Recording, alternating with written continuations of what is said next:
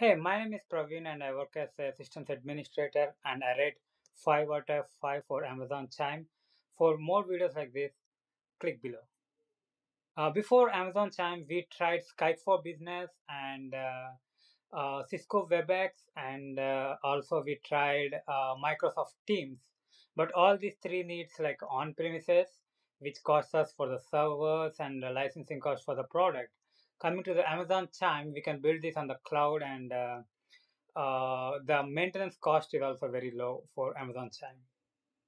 Yeah, we ran into issues when we are using Cisco WebEx, like uh, we need to upgrade for security patches and then sometimes it, it slows down and sometimes it gets freeze.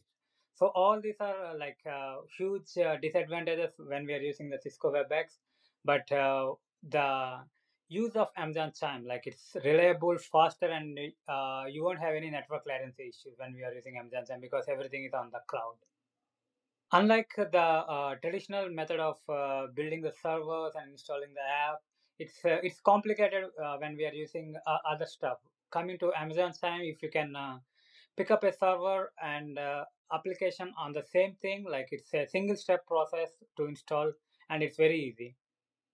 Uh, if you are a large enterprise, enterprise or a medium enterprise and uh, struggling with the network latency and upgrades of uh, Cisco WebEx or Skype, I completely recommend Amazon Chime because the servers will be taken care by the Amazon and uh, even uh, application can also be taken care by them. So you won't need to bother about patching and uh, slowness and network latency issues.